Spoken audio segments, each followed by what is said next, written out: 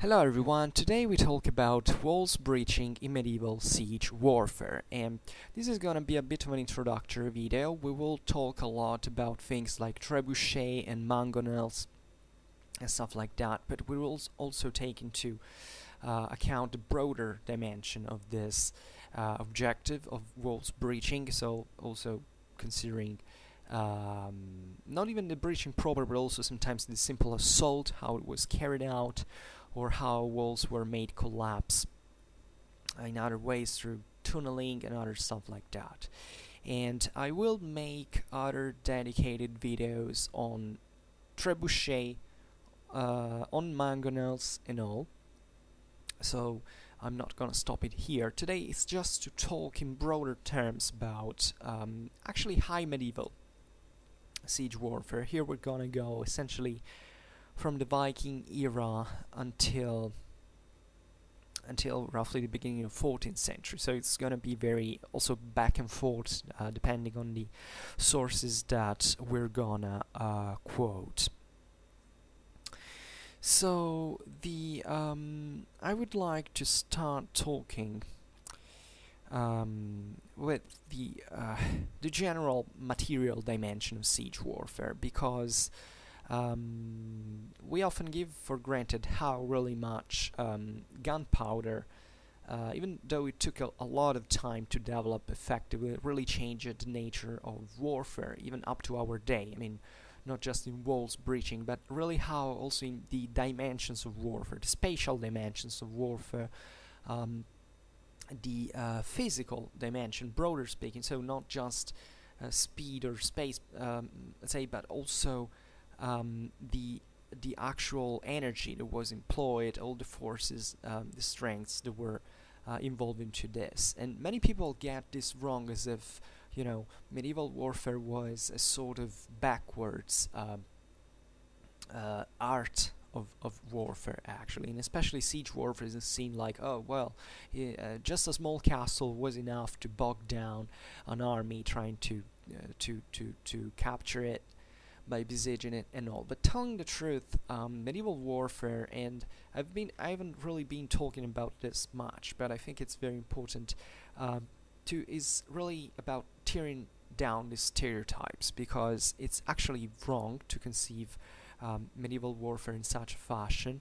Um, medieval warfare was extremely sophisticated and this is what people are not really that willing to, to acknowledge most of the times um, because they, I don't know, either they prefer for some cultural reason to, to think of the Middle Ages as a dark hole where nothing interested was created. As a matter of fact, especially siege warfare, that was in this sense one of the most important because of the, um, as we've seen here, of the technological potential that made castles really pretty effective bulwarks at this time, was extremely um, complex, was extremely refined.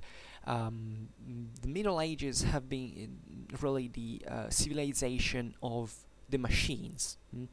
Uh, it's incredible what the medievals actually accomplished with the um, means at their disposal.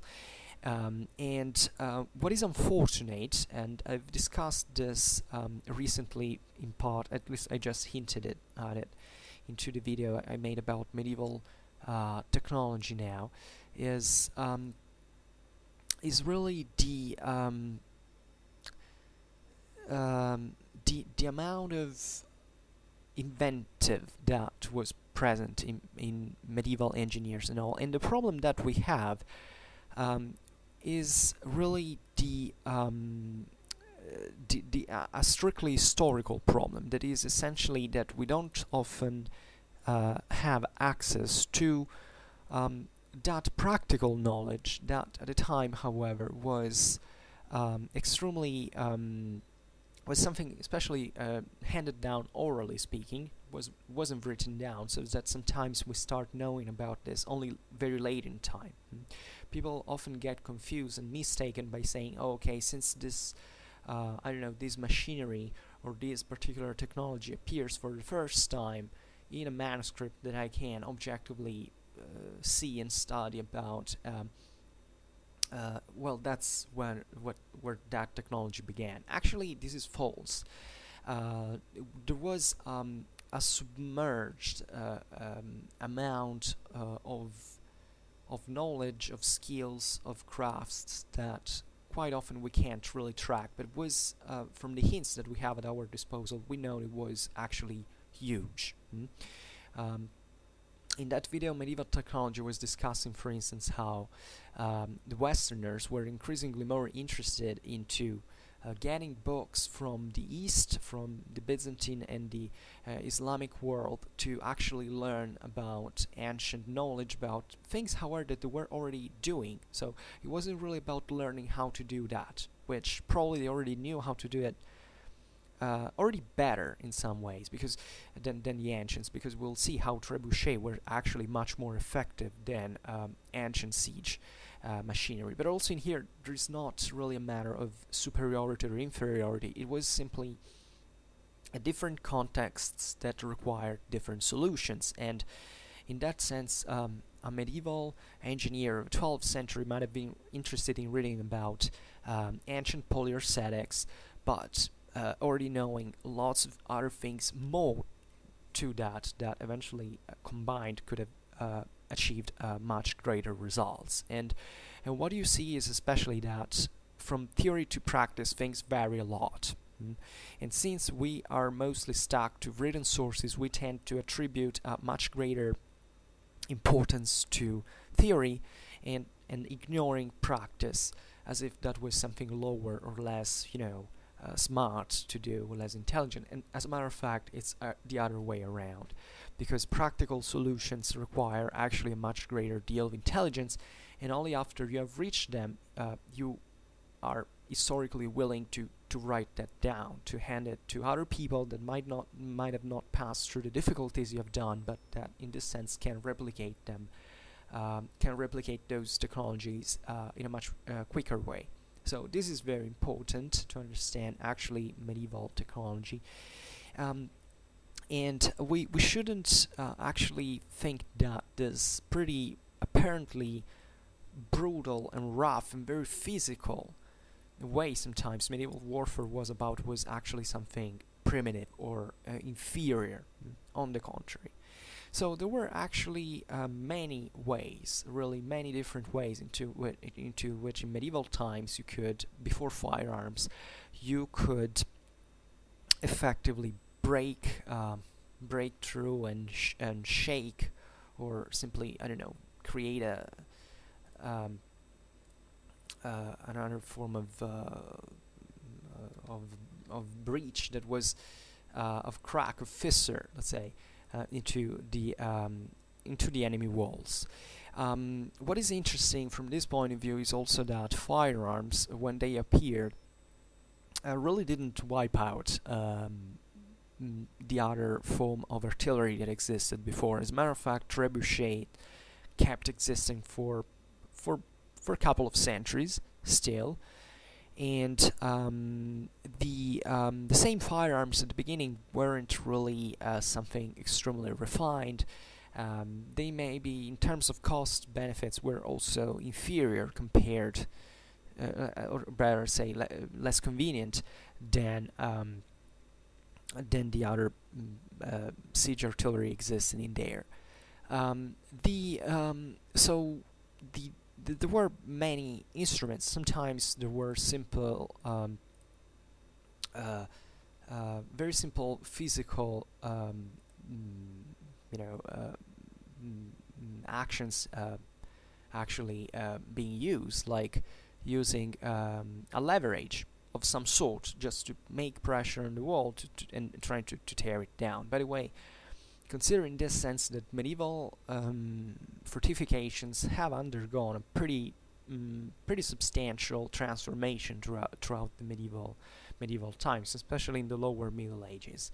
And even today we're not going to talk about medieval engineering in terms of uh, fortifications, but that was also ex something extremely refined, required certain uh, skills were actually amazing. Sometimes we don't really know how even they made it to build certain things. Um, but they did. So evidently for them, uh, um, and also on a large scale. So evidently for them it wasn't so uh, difficult as uh, it would be actually for, for us to do the same thing. This is something you, you find incredibly that we look at things from the past, you know, constructions, buildings from the ancient or the medieval world, and we say, how the did these guys made it, made it to to make it to to build this, because um, evidently we live in a world that has solved a lot of problems thanks to technology, but that in this sense has lost also a lot of inventive of mental flexibility sometimes. So what seems to us an impossible enterprise today, well, those guys you made it. They they made it. Um, uh, I mean, not impossible today, but today with their means. Okay, so those guys they made it, um, and they made it also well, mm, so that you can still see certain of those masterpieces uh, standing out there. So leverages were used, uh, iron bars, uh, battle rams, um, the um, the other major say and more uh, let's say this more uh, mm, simple uh, siege equipment that existed since the ancient age was the uh, in fact the, the battle ram um, also called um, mm, um, because there is also this problem in mm, medieval history that um, there wasn't really a scientific class categories into which such such um, siege equipment could practically fit. Uh, this is valid also for the ancient world. We we read a name from the sources and we really do not know what it really means because every place maybe this happened especially during the Middle Ages was calling um, uh, certain maybe what were materially and conceptually the same thing also with different names. But also in here the, the, the conceptualization was pretty blurred mm, especially in size. This happened uh, also when uh, the siege, uh, excuse me, when artillery was being um, developed. Uh, I made a video about uh, late medieval art artillery into which I discuss um, the, um, um the the actual mm, difficulties that we have in classifying artilleries fr from especially the, the, very beginning and how these the categories didn't really uh, were already probably in part attached to uh, certain functionality of the weapon in terms especially of shape and of characteristics and material characteristics but that was you know varying in size. So that you had names of what later would have become cannons actually that at beginning were something that could vary from uh, actually a, a, handgun to a uh, to a to a cannon let's say. So uh, this is a bit also the case of, of, of the Middle Ages. And as I was saying at the beginning there was also a lot of variety uh, in in in size and in types of siege equipment. Mm. Uh, also because really this could be influenced by the terrain, by the environment, by the kind of fortress you had to storm. So uh, medieval engineer engineers in this sense invented really a lot of new things at every time. So we're interested in this practical solution to, to achieve the the desired uh, uh, objectives. So the um, the so here battering rams were called also uh, in, in Latin. They were called uh, arietes um, in plural. Uh, Aries in, in, in, singular. It's, it's like the, the zodiac uh, signs animal. You know the Aries that punches with his head. Um, in Occitan, uh, bosson Mm. By the way, in medieval history, there were, um, especially in the West, and this was exported, say that the, the most advanced countries in um, siege equipment at this time were uh, Italy and Germany. Uh, excuse me, Italy and France. Um, Germany wasn't, as a matter of fact, and um, the um, not that I mean we're so backwards, but it's an area where you know this uh, fallout coming from instead France and Germany.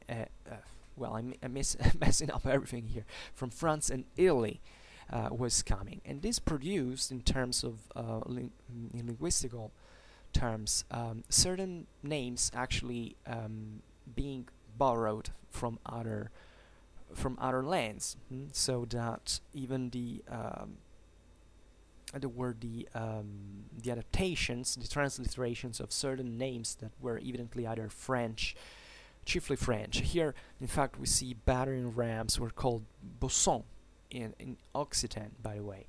Um, not in, in in northern French. This is also interesting because it tells you how Occitania was pretty much advanced at the time, especially previously previously to um, to the uh, French invasion of the north, where there were still, you know, uh, in kind of an independent powers from the French crown, and there were areas of southern France that had an old urbanization since Ro Roman times, so they were rich, so they could invest in this siege warfare with more sophisticated material. This is a bit the case of northern Italy as well.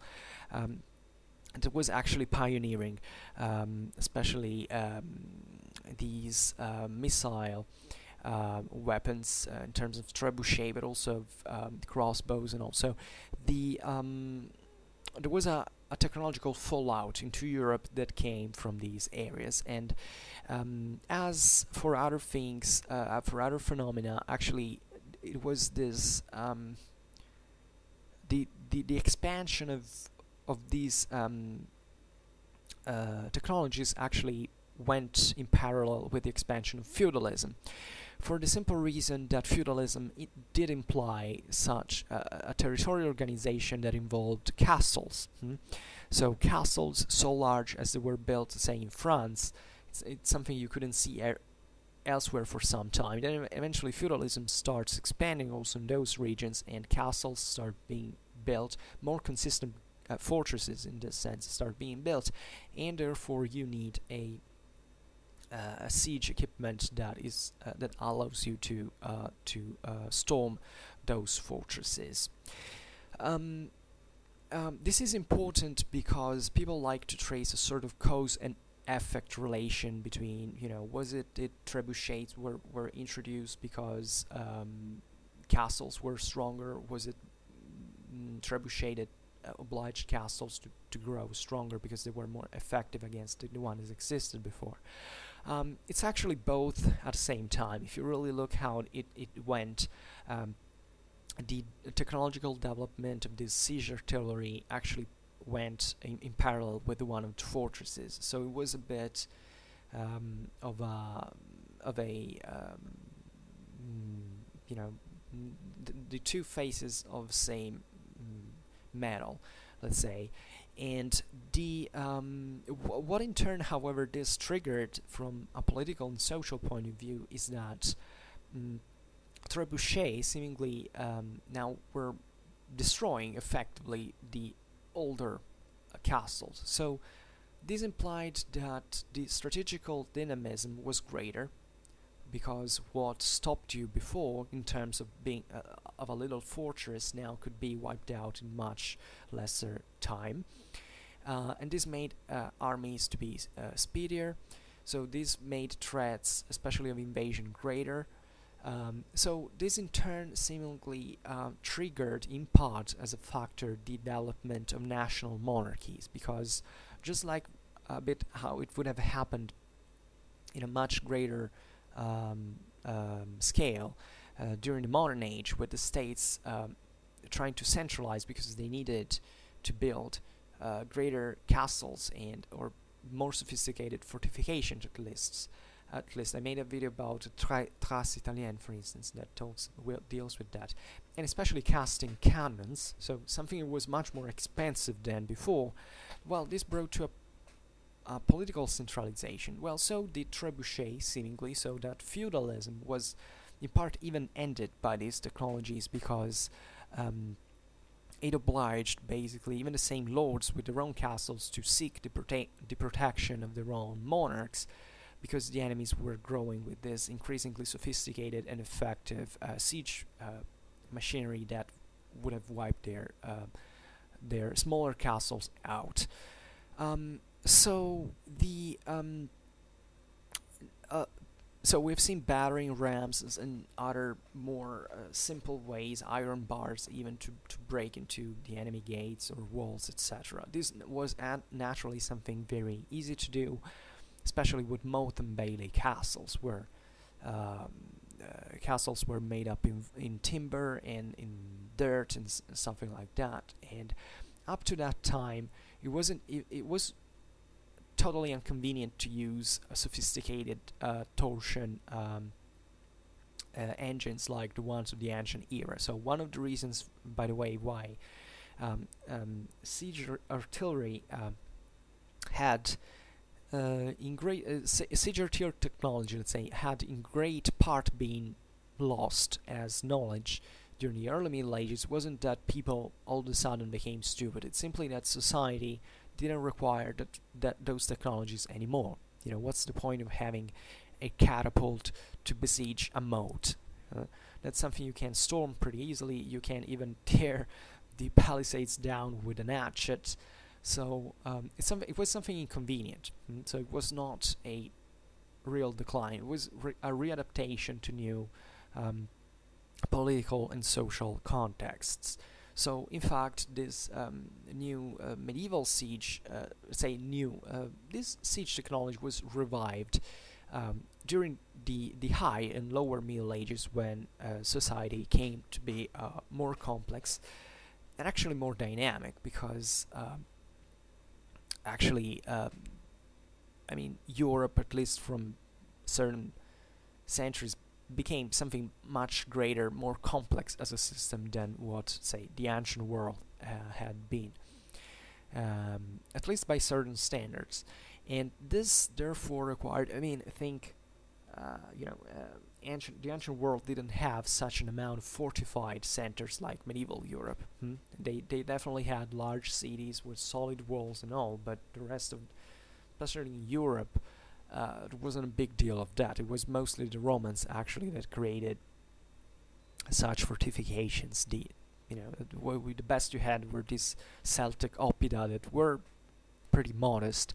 Uh, actually, fortifications. They were pretty advanced, say for non-Mediterranean standards, but th they weren't really anything that was uh, that stopped the Romans, who in fact conquered the most developed area of the Celtic world that is Gaul in, in, in just eight years. Um, um, so the um, so throwing projectiles was seen naturally as one of the most effective ways to take down certain types of walls, the, the strongest type of walls. Hmm? So uh, the same effect of breaching it could be done on a distance with such machineries. This involved, uh, therefore, uh, uh a technological improvement of some sort. Um, so this is the moment to which catapults, trebuchet, uh, the so-called petrarie um, in, in Latin, and mangonels and the other terms like the chable or the um, Calabre in uh, Occitan um, come out, start reappearing. Um, the during the early Middle Ages, actually, um, this form of artillery had not disappeared. Actually, the uh, the most common one was the so-called petraia that we uh, petraria that we have uh, said in Latin. That was actually activated by muscular force, human muscular force. So it was this bar this leverage that had to throw it was the arm that had to throw the uh, the stone because uh, Petraria takes the name from Latin petra is uh, stone. Uh, so the um, th there were like lots of you know like tens of people actually uh, pulling down uh, from one extreme this leverage all together and, and this launched this stone and this was actually pretty effective it was pretty much used in all the great um, military of the time. Uh, it was actually used everywhere, to be honest. You see, even the, the Vikings had such um, such uh, siege um, equipment. It was used by the Byzantines, it was used by the Arabs, it was used by the Longobards. Um, it was something uh, pretty much scattered all over. It was um, easy to build, uh, relatively effective, uh, especially and it, was perfectly um, good uh, against the, the, average type of fortification that existed at the time. Mm. So um, that was uh, that was definitely fine. So um, the um, um, John of Garland, that was a medieval um, philologist and university teacher, uh, he lived um, from the end of the, of the 12th to the 70s of the, the, the 13th century. He wrote uh, in Latin um, Petraria. So that would be a um, here you see a perfect example of the variety of the uh, terminology, even the misliteration or or even mistranslation actually. Petraria est tormentum minus. Mm? Trabuceta sunt etiam tormenta murorum. So here he is making a distinction. So he was living in as we've seen in the, in the 13th century. So this was the moment to which trebuchet had kicked in as a um, kind of a standard uh, siege uh, um, artillery, at least for the, the, larger sizes. And he makes this distinction pretty simple. That is the, the petrary, the, the petraria, I don't know how you want to call it. I, I don't think petrary exists in in English, but I think that would be the proper transliteration, it's a uh, lesser uh, engine, uh, Tormentum. Mm. Tormentum was the term used to, to define uh, these uh, artillery, and uh, that's where the same expression tormenting comes from, because the idea was that this artillery wasn't just conceived for actually making a physical damage, but also to hammer psychologically the enemy, mm, so to give a torment to him. While he says the tre trebuchet are instead the um, uh, actually he says also um, these machines for uh, of the walls he used the genitive in here so it, he's basically uh, saying that the, the batteries were used for lesser mm, fortifications while the trebuchet were used when there were these large massive walls that had to to uh, take and be taken down. So the trebuchet is is a French name uh, as well. Um, so between um, 1180 and 1220, more or less, uh, there was uh, actually the greatest improvement in these um, um uh, trebuchet uh, ma machineries. Um, these, um, I don't know if you have, you know, how you know how trebuchet works uh, is actually pretty simple. There is a a rocker arm. Hmm?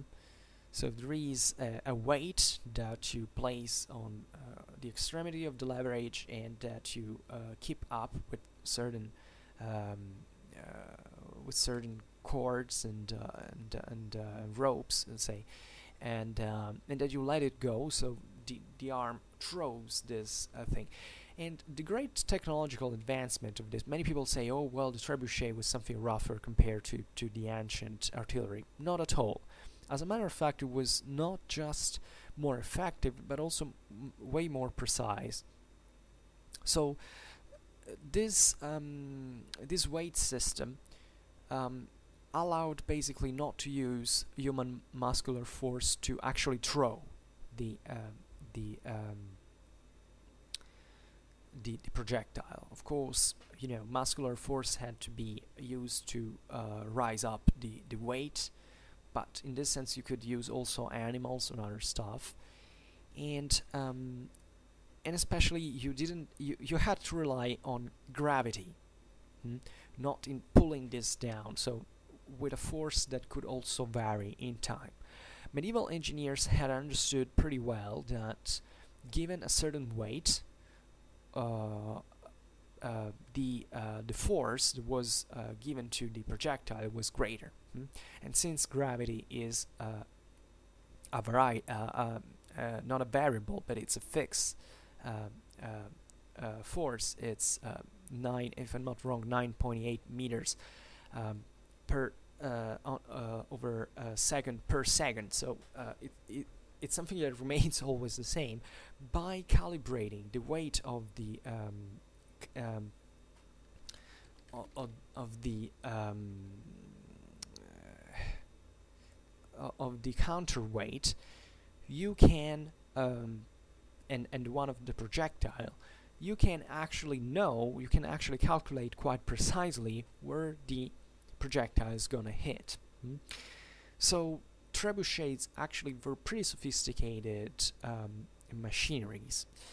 Um, um, the um, actually um, trebuchet uh, actually also in here there is the problem of defining what it was because initial trebuchets were actually also still uh, using uh, human muscular force. Mm.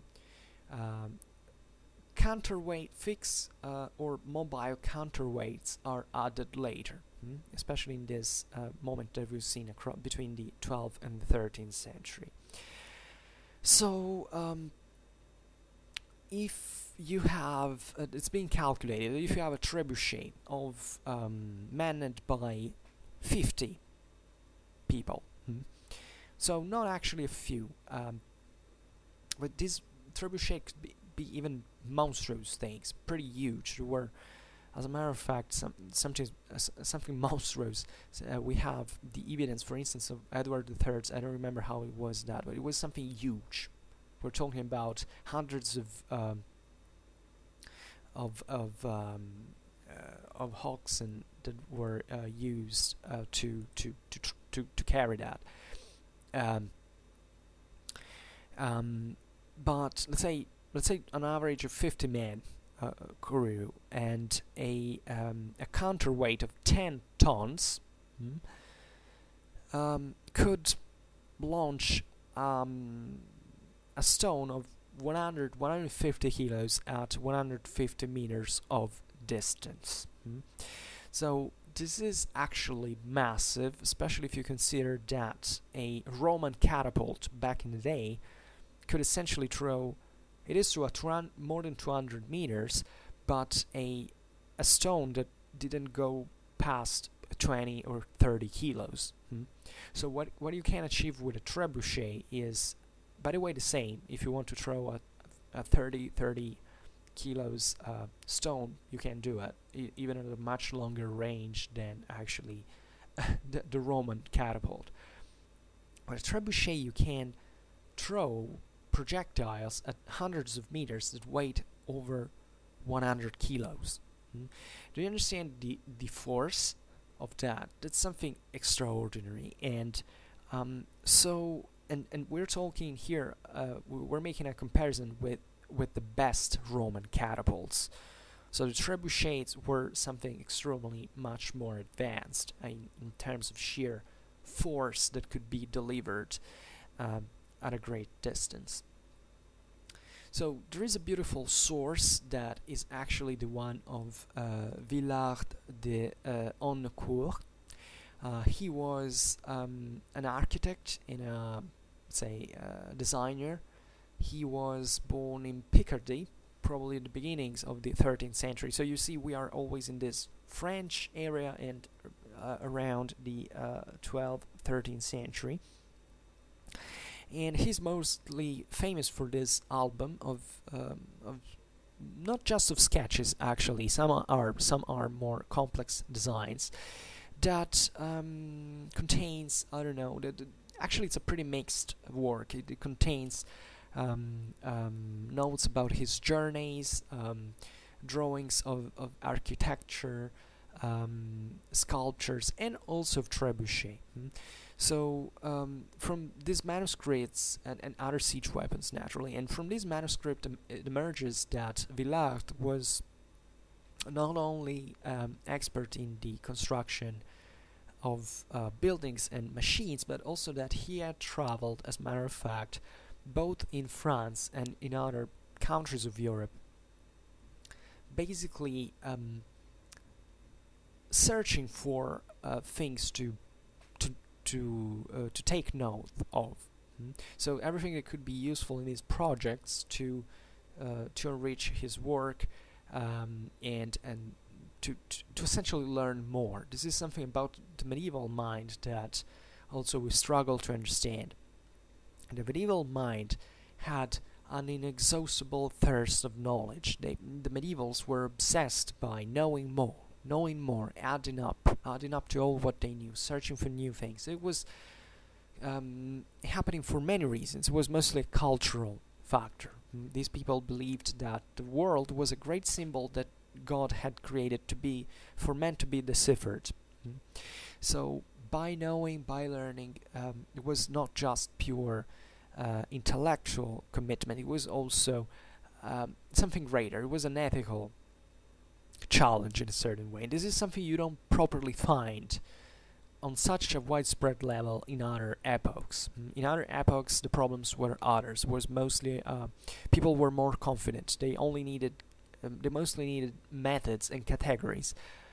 The the medievals, before the knowledge itself, the medievals instead wanted sheer knowledge. They really wanted to drink from the uh, from the spring of it. Um, and this is why we have such extraordinary material. I don't know, maybe one day I will make a video about uh, Villard de Honnecourt uh, album, but it, it's very it's very beautiful. And now we um we we mention him because there is a beautiful depiction of a trebuchet in his uh, in his album. Um, the um, uh, and um, this is an unfortunate um, uh, um, uh, there is also another unfortunate uh, thing that he made actually a second drawing about a trebuchet that is lost but we're lucky enough to have a uh, description that he left uh, about it. So here I have a translation. I could read it in French but I've got the English text as well.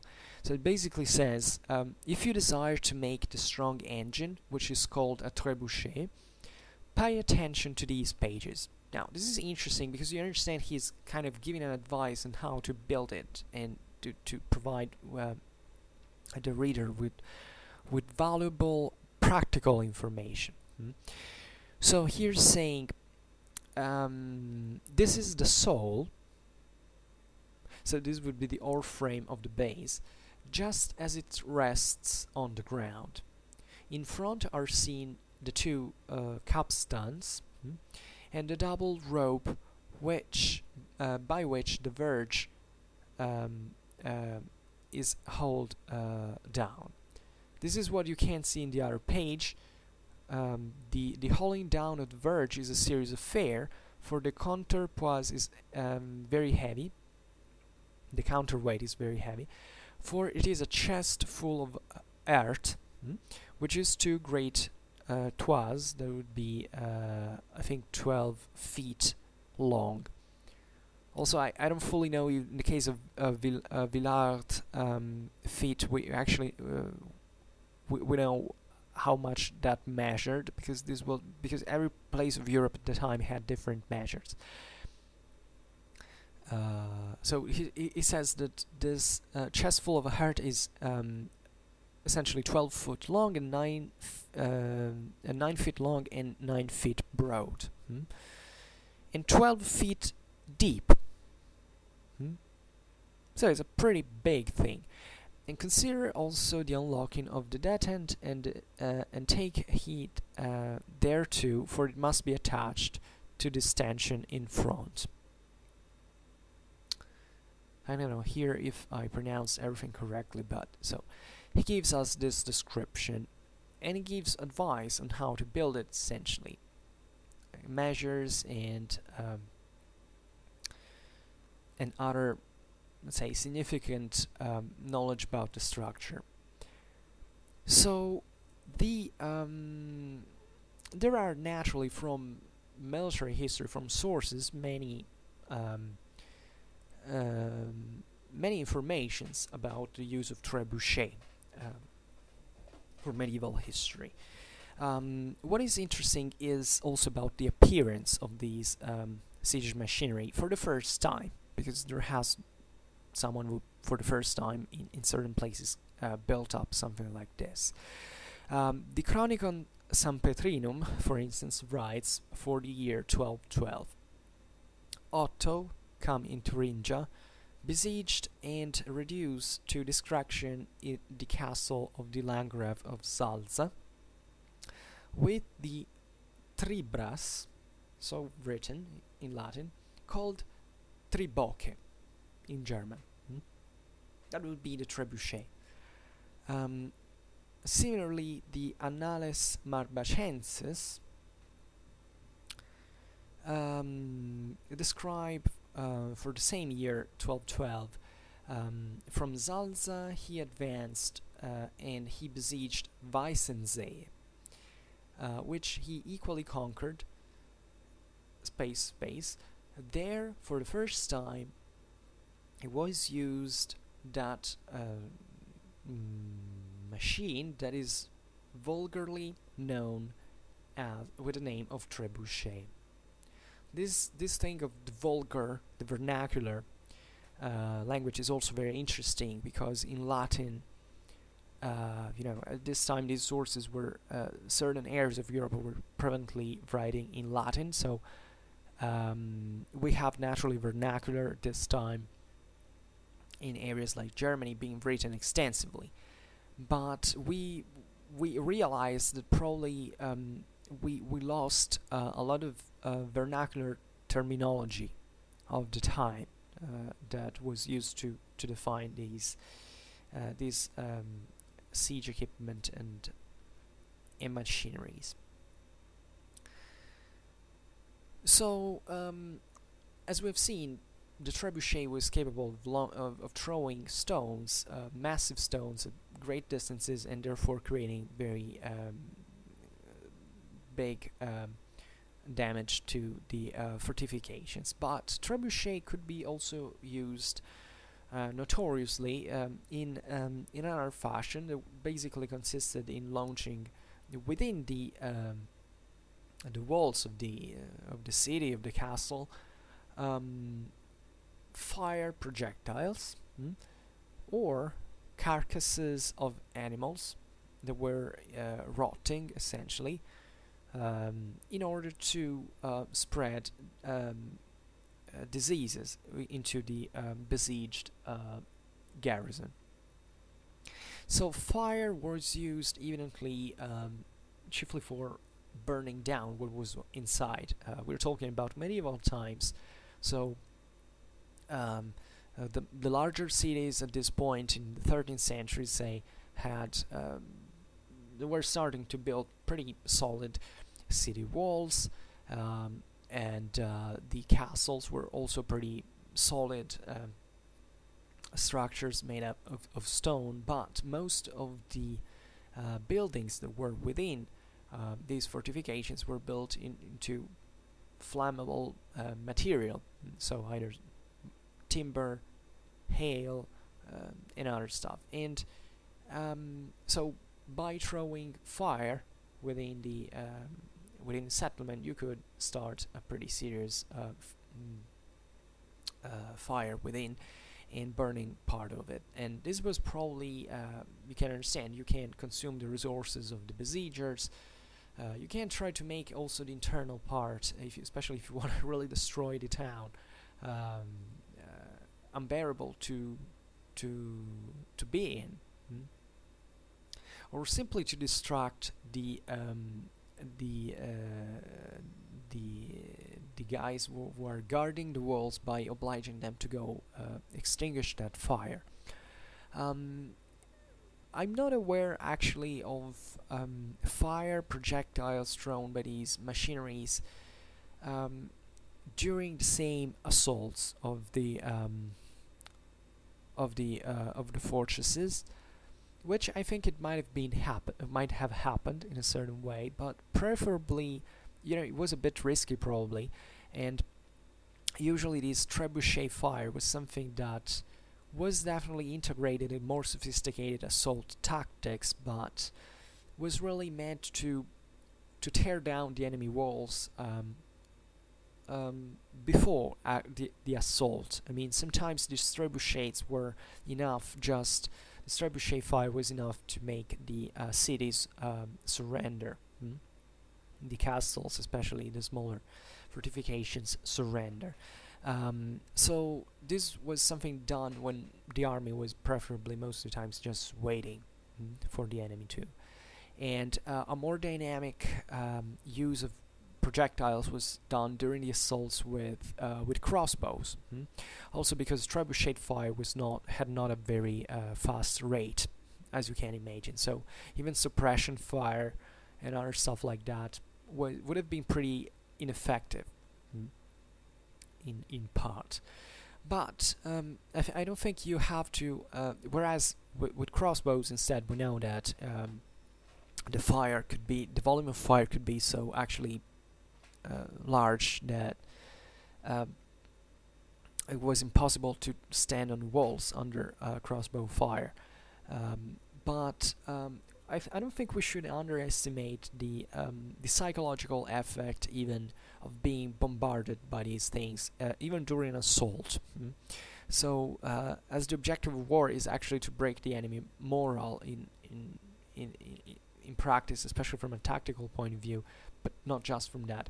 It, it's mm, it's really loading the enemy with this pressure, with these worries of seeing this um, stones flying in the air and falling ruinously on on the um, you know on you on the city walls. Uh, it's going to be devastating and can't really uh, push you to you know to surrender, especially if you are under assault at that very moment. Um, so there was also a lot of of psychological warfare involved. Mm. Uh, I've read many sources, for instance, in which it's written that trebuchet fire was actually carried out night and day, not to make the besieged sleep. Mm. Uh, if you take a person the sleep away, uh, that's a torture that's gonna not gonna withstand for, for more than, than some days. So um, there were actually many ways you could use um, effectively uh, such uh, uh, machineries. And also we have seen this chemical warfare that occurred and uh, the um, uh, the idea is um, for instance in 1332 in the siege of um, Schwanau the Strasburgers um, um, the um, uh, the um, that basically uh, were able to make up uh, 60 prisoners hmm, to take 60 prisoners. And they slaughtered 48 of them. And uh, among these uh, there were three carpenters that they placed within um, certain barrels hmm, together with rubbish. And they basically catapulted them inside the castle of Schwanau.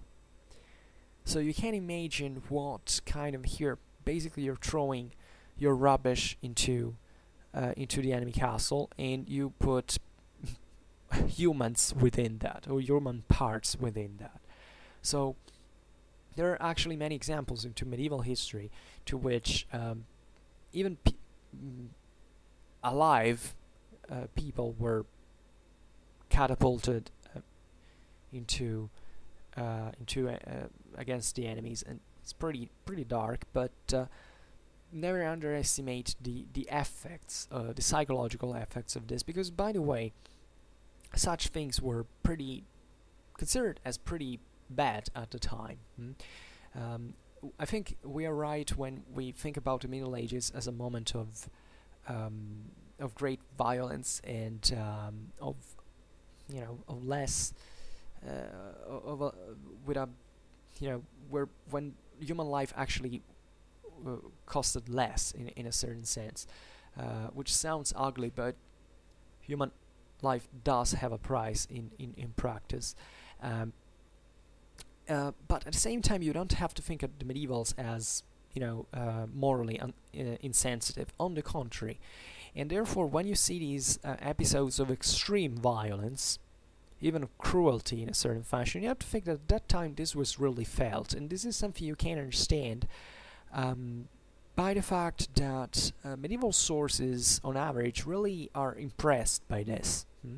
So even if these things happened fairly often, considering the kind of endemic warfare was taking place, were still something pretty uh, unusual, hmm? and that were regarded as something very, very, very cruel. That in fact was done to break the enemy morale. Mm. Not just because, you know, those people wanted to have fun throwing someone in the air with a catapult, but really, um, yeah, sure, probably someone had fun, also true that. But the, um, we never have to, to underestimate the logics of that. Mm.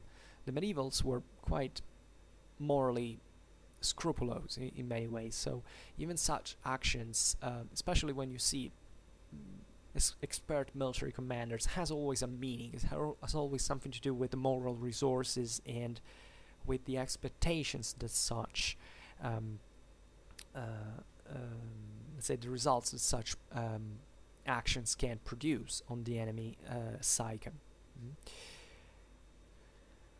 So um, another important, uh, as we've seen, there were many sizes of, of trebuchet and other catapults uh, of sort. Um, now here I don't discuss it, but there are also there were also ballistas, for instance. It was pretty common. Actually, some of the most common uh, catapults were were made like that. Mm? So there was these large crossbows. Uh, carried with wheels and that were extremely useful by the way in urban warfare mm? so uh, the, the, especially in these narrow uh, medieval streets, you can imagine you place a catapult like that, you can really fence off an enemy, enemy attack. Urban warfare was extremely frequent at the time, so mm, there are many examples I can think of. Uh, there is a battle in Florence, there was uh, seemingly one like that. Um, by halting the enemy advance in the streets with, with, a, with this catapult. Um, the um, so given this variety, we have to think of certain uh, siege weapons that were conceived also for a sort of not really of sniper fire because that would be excessive, but of precision fire of some of some sort. Mm. Um, so um, sometimes, obviously, there are there were certain episodes that were accidental. Um, trebuchet fire was pretty pretty uh, common during sieges and there are even eminent um, figures that died because of that. Uh, probably the most famous is the one of Simon de Montfort, hmm? the the French crusader that led basically the uh, the invasion of the um, of the, of the French crusader into uh, uh against the Albigensians, and um, the Albigensian crusade was um, um, so a great deal of siege warfare for the reasons we, we remembered, uh, we um, we stated before, that was that uh, southern France had lots of castles, lot of fortresses, and some of them are still there. You can see them; um, they're beautiful. I have seen uh, some of them. Uh, really not really the the, the uh, sites of the um, of of uh, of the main um, Albigensian Crusade sieges, but you know if you go to southern France in places like Carcassonne, or but it's plenty of castles all around. Telling the truth, um, Toulouse, um, mm, also, also um, famously Aigues-Mortes. Even th that's something different. It's more of an encircled town. But however, you can really picture if you go there this kind of scenarios. And Simon de Montfort, uh, so there was a lot of siege warfare involved. And Simon Montfort was actually if I'm not wrong, uh, I don't remember whether he was beheaded by a a trebuchet uh, uh, stone, but uh, well, no, I don't think we know it. I think he was just hit by a trebuchet stone, and however, it's pretty pretty harsh way to die, and seemingly so. Uh, this um, it was not even actually a trebuchet; it was uh, mm, Petraria. Mm and uh, the uh, the infamy of this for the uh, uh, morals of the time is that this pattery had been actioned by uh, women. These were th this was the siege of Toulouse, as a matter of fact. So the women of Toulouse participated to to the siege by uh, manning this, uh, or better, womening this um, this machinery. Mm. women had a great important role into um, siege, uh, into city defenses, mm. also in castle defenses. This is often an overlooked video. Excuse me, an overlooked uh, topic. To, uh, I was saying that tomorrow probably will make a video about um, medieval um, women into uh, how they work. So that that was something nice to to uh, to remember. However, and relatively to uh, Simon de Montfort's death, um, this is interesting because actually I don't think that a pattery could be used with such a uh, precision uh, to actually have killed Simon de Montfort on purpose. Hmm, that was uh, just a lucky shot, uh, in my opinion. But it's still interesting that such weapons could be so risky at a point, so so dangerous to hit at great distances without basically uh, uh, being even uh, I can't say noticed because the hit could be seen could, could be seen flying but um, that let's say these weapons could hit where you you wouldn't expect essentially.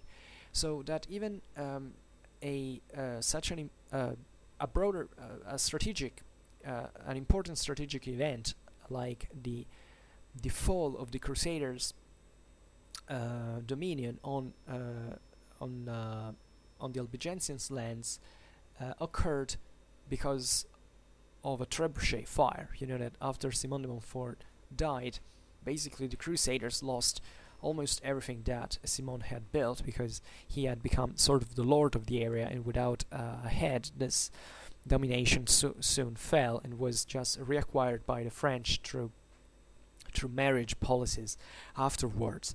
But just for saying that that such um, weapons could really um, change history, uh, uh, not just structurally speaking, but uh, like in this case, even by uh, by accident. But if that uh, had not been there, uh, you know, history would have been uh, radically different in this sense. I mean, radically, maybe not, but surely for southern France it would have changed uh, a lot, and for the rest of European history and world history as well. So um, the um, the one of the problems uh, that these trebuchet uh, posed was actually that they had to be uh, they were so dangerous and effective um, for the besieged that a, a, lot of effort was put in taking this um, trebuchet uh, down. So um, usually these these machineries weren't really uh, uh so precise to actually hit other that weren't conceived to hit other machineries. Mm. They were uh, conceived to hit this big squared fortifications, so more or less knowing that a hit would have gone there. So the, as we've seen before, they were relatively precise for this, uh, actually very precise for, for the times. But uh, throwing them at other trebuchets would have been kind of useless, and, uh, and and this is a bit what remained also in later in later history with artillery. Mm uh, even up to Napoleonic times and beyond, I mean, uh, artillery never shot against other artillery because it was considered as wasted, um, as wasted shots because they were tough to hit. There were small targets. It was better in comparison to actually uh, fire at the other um, um, at, at, troops, uh, at at naturally also at fortifications. So there were other ways to take out these um, siege um, artillery. So uh, there is an example of, uh, I think always during the Albigensian uh, crusade that in um,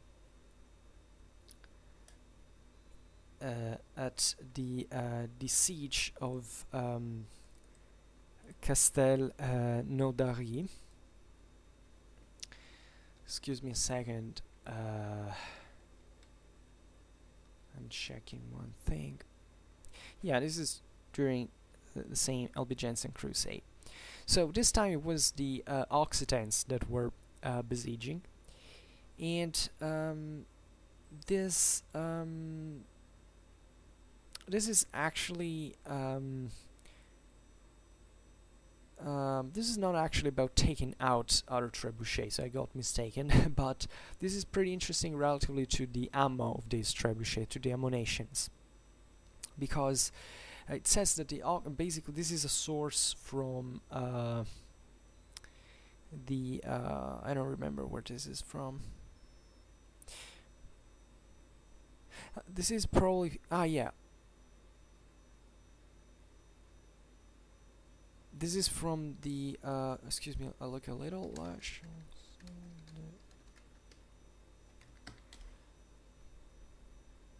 yeah. This is actually a very important source. It, it is La Chanson de la Croisade, croisade Albigeoise.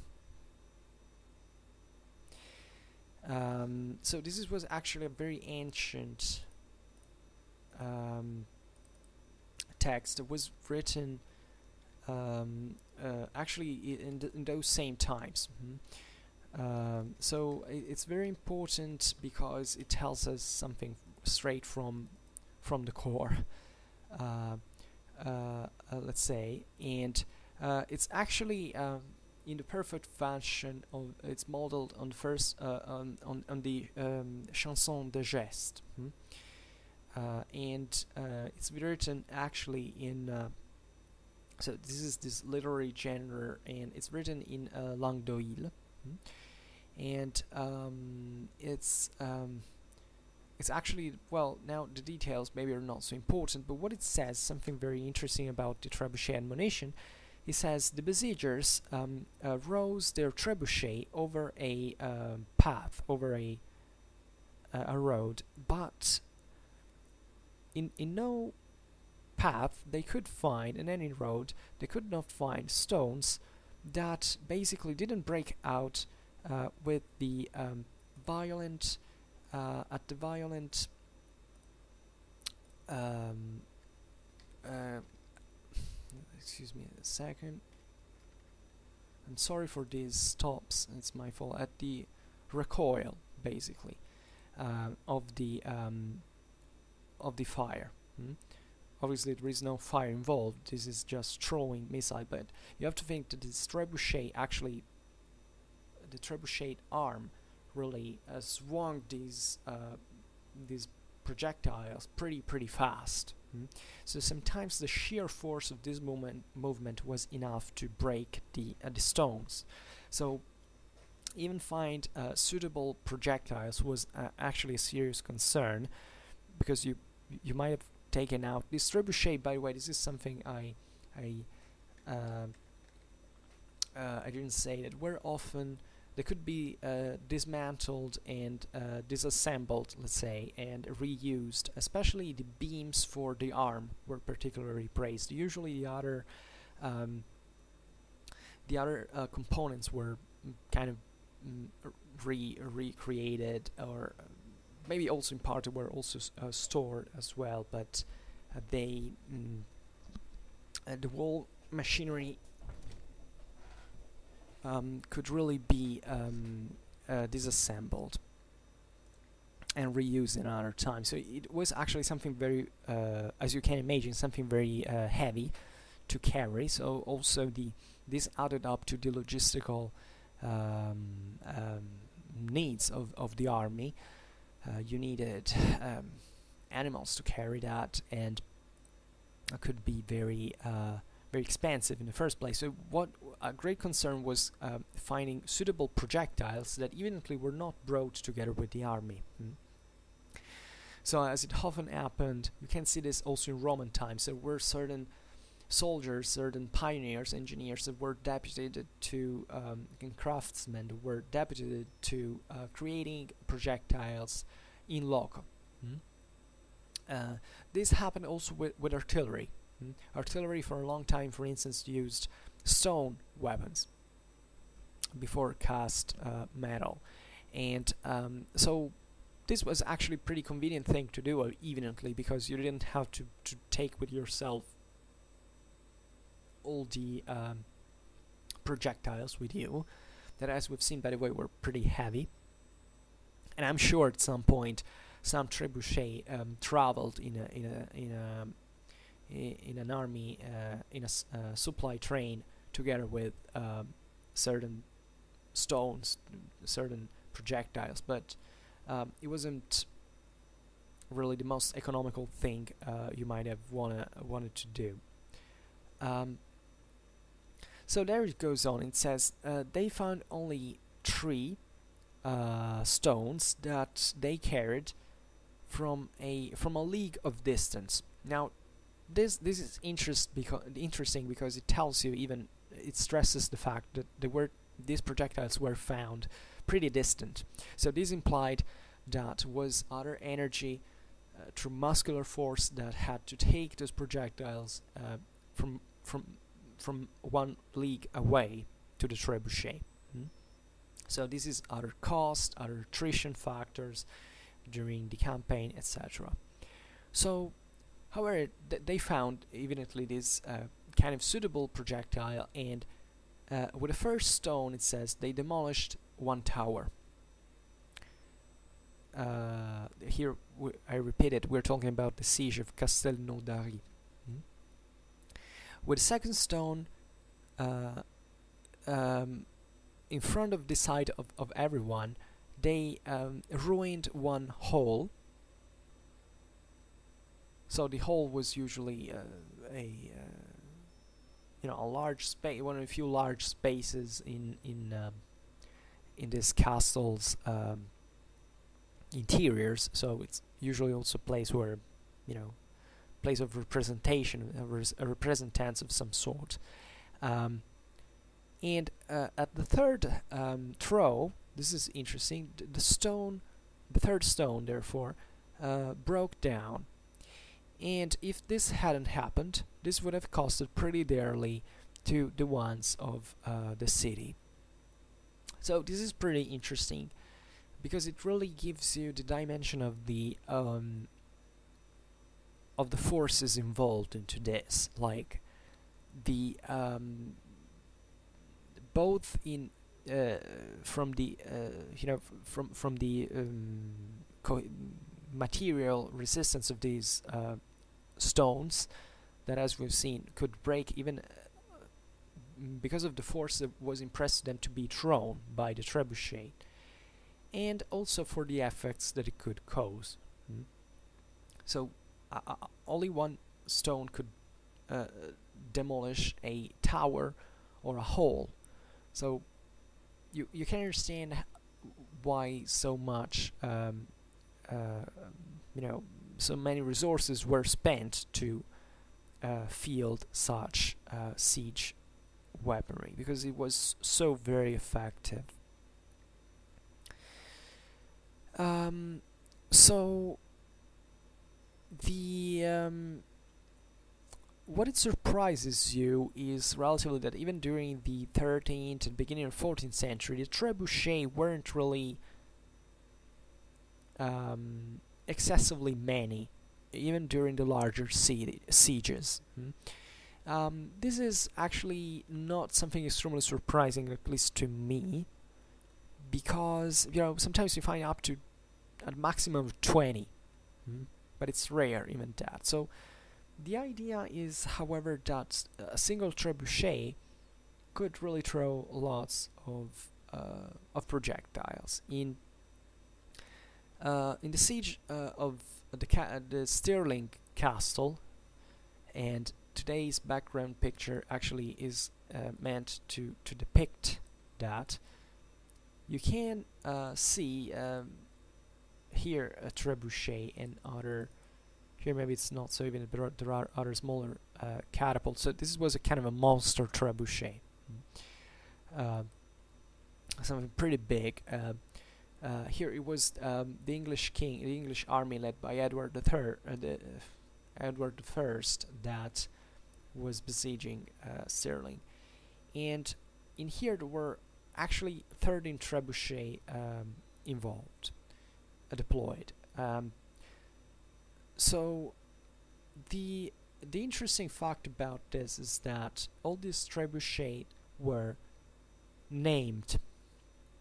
So there were names like Vicar, Parson, Warwolf, Gloucester, Belfray, Tout. Um, so these um, trebuchet were this kind of um, this naming actually emphasizing the fact that we're sort of single pieces. Hmm? So uh, this would happen actually also with the, with the larger cannons in the age of firearms, into which we already are in practice, uh, because the first uh, firearms were being developed uh, in Europe uh, at this point, um, which suggests, um, in my opinion, the reliance, in fact, of either or on certain pre um, assemblable weapons as we've seen before so there were probably certain um, trebuchets that were especially largest ones that were disassembled and used for further um, employment mm. um, but also the fact that um, such trebuchets were actually sometimes also created on purpose mm. so that there were something that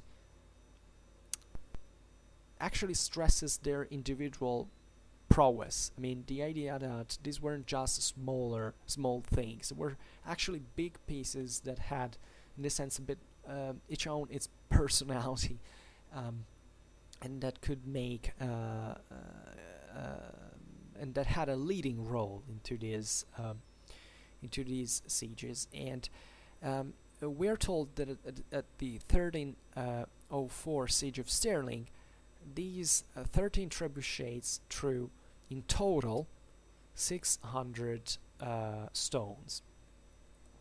So this actually um, shows also how slow this um, rate of fire actually was, and this adds uh, up to actually the uh, the chance that these were big pieces and that in this sense were not just difficult to to reload but actually probably it has also a lot to do with the finding the uh, projectiles for it. That must have not been something excessively difficult but it was something still pretty costly. Mm? so every every throw every shot let's say had to be properly calibrated.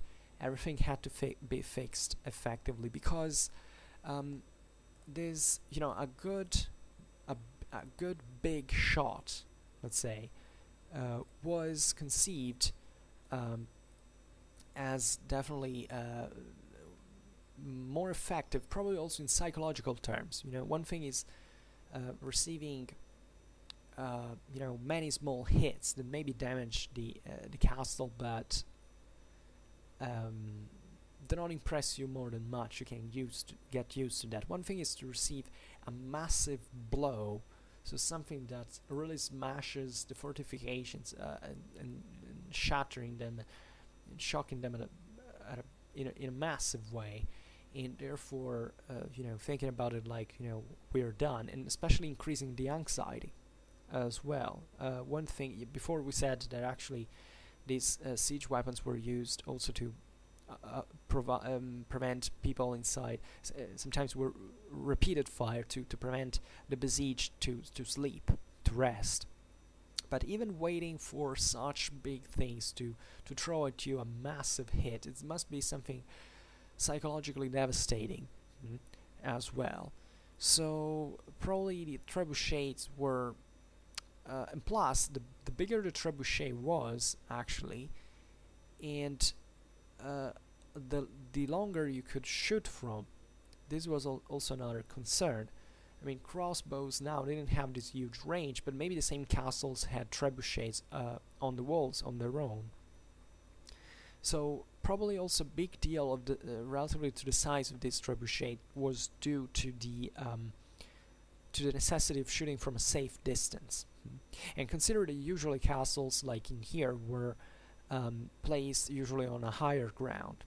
So those from the castles had, even if they wanted to, if they wanted to use their own trebuchets, they had a pretty substantial advantage for evident physical reasons to shoot projectiles uh, longer and also with a greater force, since gravity was uh, adding up to that.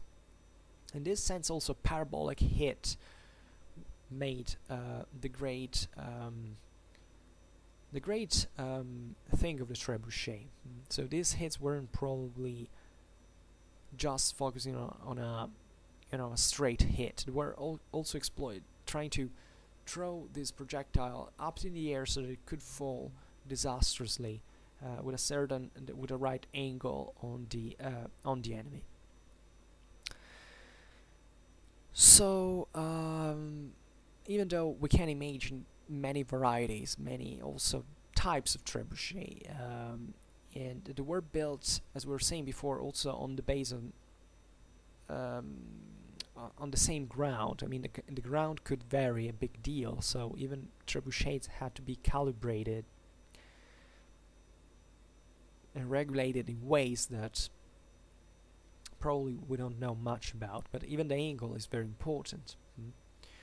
Not all terrains are equal, these things were, and this suggests the fact that certain trebuchets were actually mounted on spots with a certain degree of variety in sizes and in performance because that could really um, add flexibility to the um, to the effectiveness, uh, say, to the uh, to the employment of this artillery in in various circumstances.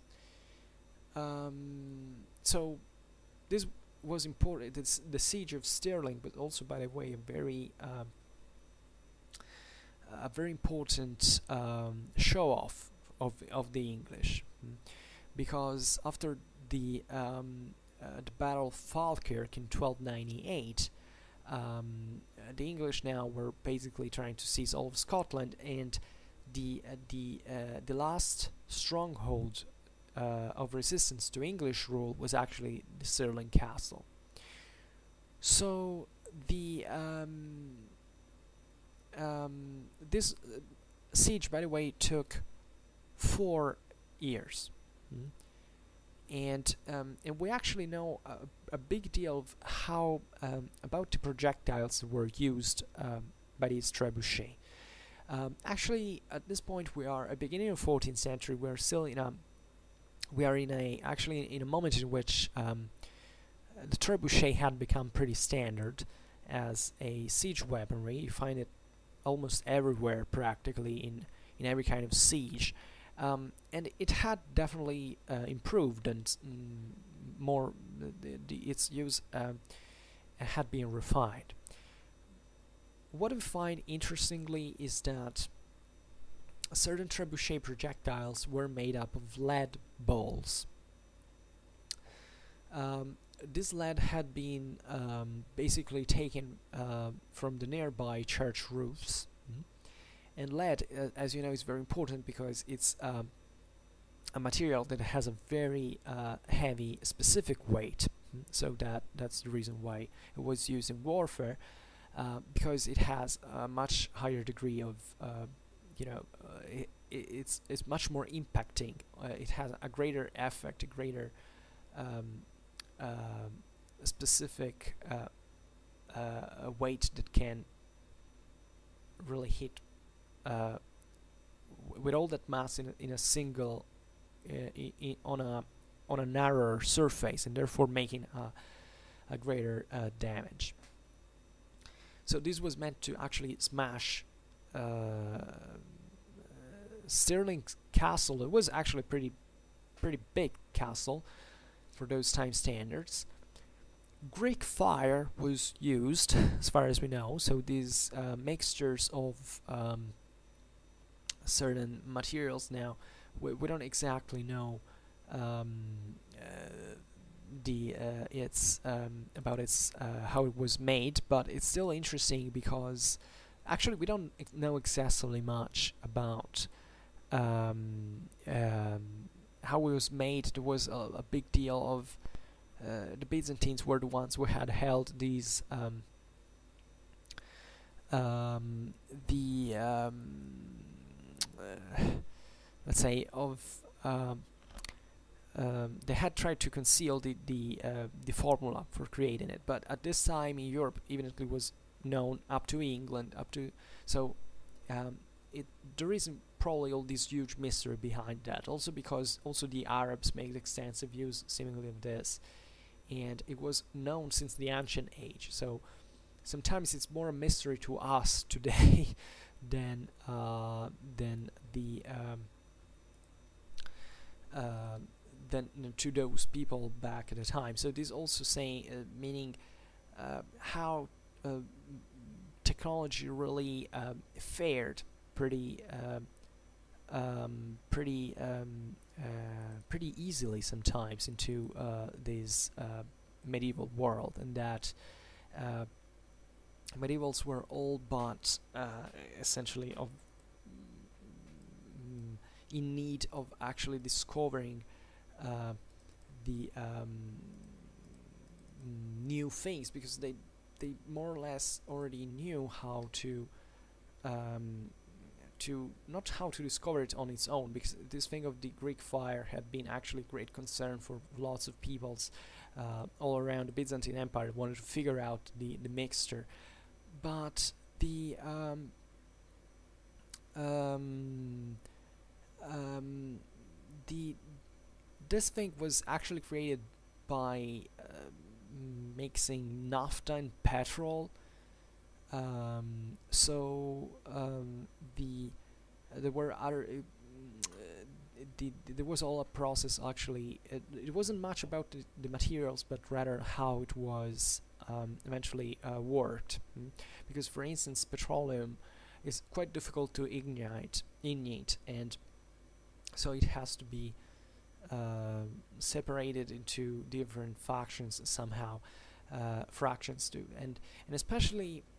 Uh, it, it, was uh, this mixture was um, I flammable liquid was also mixed with other resins and um, with resins and other materials um, depending also on the use you wanted to do that the, the Byzantines had certain siphones so certain brass force uh, uh, pumps that but this uh, at the siege of Stirling at least it seems there were pretty uh, certain projectiles to, to, be thrown. There were probably certain containers of uh, either I don't know to, to say that large um, large barrels or, or bowls this fact also of the spheric uh, form is, is very important because um, that's not so you know sometimes we get the idea that uh, you know, these uh, everything was so rough back in the Middle Ages. But actually, even the, the and th that they threw these stones were so um, with different shapes and all. Actually, stones were um, worked, as we said before, to make them suitable for um, trebuchet use. And using a spheric projectile, uh, it, it, obviously gives you so many advantages because it's the perfect form to um, carry out more damage.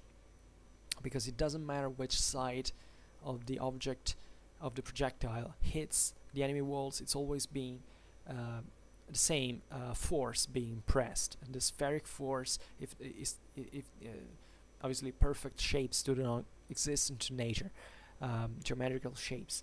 Uh, but if, if you have a, a spheric projectile more or less uh, the the theory is that only a little part of the projectile is actually smashing through the uh, initially into the uh, wall. So that all the force of the projectile is uh, transferred into that tiny part. So it creates a very heavy damage in that section it can open up uh, you know it can cause a, a, a pretty um, serious fracture to, to the structure mm, and that's why um, the um, that's why also the lead and all So Greek fire at this point, especially as a uh, to a heavily such a heavily fortified castle like the one of Stirling, was probably something more of a of a show off, like like saying you know I'm gonna scare the hell out of you with this. Uh, and telling the truth, we also know because the Greek fire had also probably some salt saltpeter into it. I mean, the the, the mixtures of the, the composition could vary, and uh, it, it, might be that these um, projectiles already this time were already explosive in some fashion, which is actually something normal because especially the Venetians and the Mamluks that were ahead into this technology at the time uh, were already using um, explosive projectiles as soon as they were using firearms. So we can imagine that in here something of that was already understood even uh, in uh, in England as perfectly plausible and that such projectiles in this sense even with Greek fire could cause just more than you know this flammable liquid but also a sort of a of, of deflagration mm, and uh, sensibly uh, damage the enemy walls and and in fact Edward I had sulfur and saltpeter uh, actually um, uh, brought from England oppositely from for the siege of Stirling. Mm. So this is also interesting because it tells that that was an, there was a a precise uh, intention, mm. And that probably had also a lot of um, propagandistic uh, meaning. So a big show off. The last Scottish resi resistance. That's what you really want to take down uh, with uh, with a mighty spectacle. Let's say. Um, the um, the especially the biggest of these uh, trebuchet uh, was the Warwolf, mm. Uh, and it seems that Edward actually ordered um, his chief engineer Master James of St George to uh, to build this monster. That is uh, the one you can hear, uh, you can see here.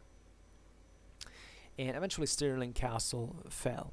Mm. And by the way, Stirling Castle was uh, held only by 30 uh, people, so quite small garrison. That that tells you, by the way, how easy it was um, before the creation of this. Um, of these um, missile weapons um, of this siege artillery to hold um, a, a, fortress, even if were few people, because there were really few ways you can you could make it true, uh, really. And um, so we have evidence of what else can we say now? Well, whatever. Um, so here, uh, passing, going on the um, always talking about England, this thing of uh, of worked projectiles that is uh, is something um, that the English government took care of since 1244, seemingly. Mm? So England at this time was one of the most in spite of now, yeah, there had been the Magna Carta and etc., but its administrative reforms had actually, uh, excuse me, its administrative organization was pretty advanced. It was still a pretty centralized uh, uh, kingdom. Uh, not that the Magna Carta actually decentralized it, but I mean, here we're talking about monarchic power. Mm -hmm. So there was a very big deal of centralization at the time, and England was one of the most centralized kingdoms. And here already uh, the English government in, in the 40s or 13th century is taking care of the, uh, the creation of large quantities of trebuchet uh, projectiles in spheric form. Mm. So this actually um, shows uh, something different what I was telling you before. That is that such projectiles were actually um, carried out together with the army. Mm. So they weren't built just um, during the uh, the campaign. Naturally, this would be it, it was probably a mixed system because. But considering especially these greater trebuchet, probably um, even finding a, um, a suitable uh, projectile was something difficult, and especially these spheric projectiles were evidently the best, and um, this evidently saved time, mm, even if probably added, uh, as we were saying before, traditional factors relatively to carrying these uh, materials together with you. That was fine. It was still convenient, and this probably adds up to the to the dynamism um, of the use of trebuchet because um, basically by carrying those projectiles with you it means that they are immediately available for firing at an enemy castle. So you don't have to wait days and days before this uh, you know the engineers go around and take these projectiles and they rework them. Mm. that can be done uh, that is actually and, and this is where why centralization was important. Also for that thing I was telling you before that this new kind of siege warfare with trebuchet etc really favored decentralization of national monarchies mm? um, and, and this is probably why instead in the um, chanson de la croisade albigeoise you have um, in a fragmented area of Europe like southern France was, instead you don't have this form of organization. Mm. You find just uh, they had the trebuchets, but they had to find the projectiles along the road uh, substantially. So these were also partly the advantages of having a centralized kingdom, uh, like in England, a relatively centralized kingdom at, at least, um, more than the others. Uh,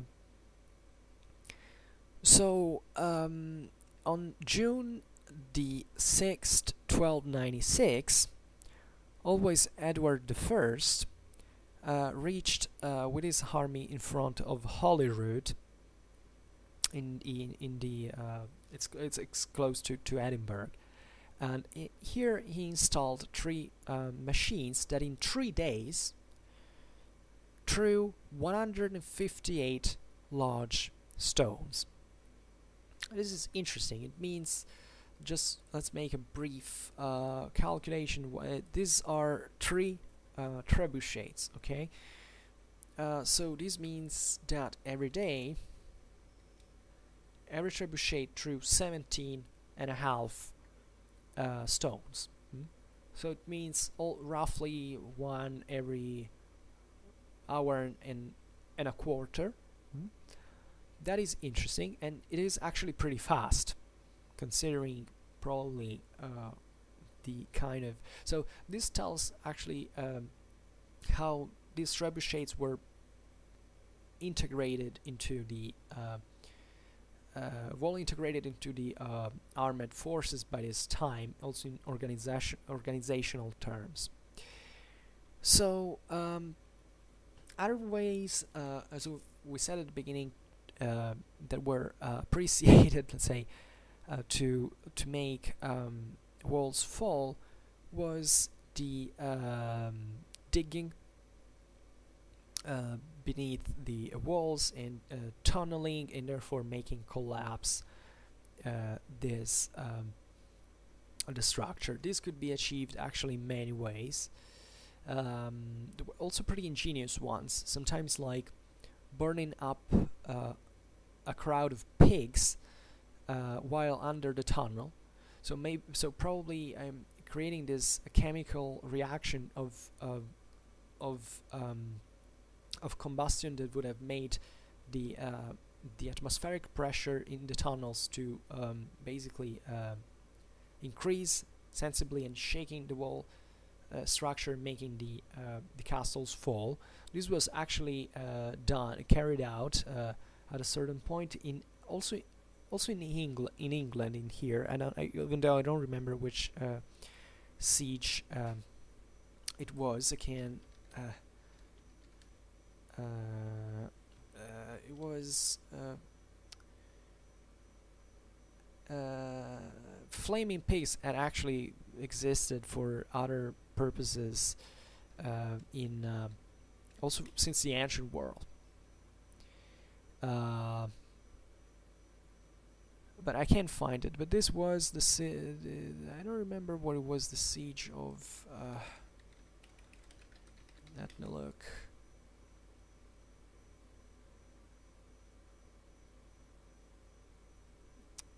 Was the siege of Rochester, might be. Yeah, it was siege of Rochester Castle. Yeah, I think it was the one of uh,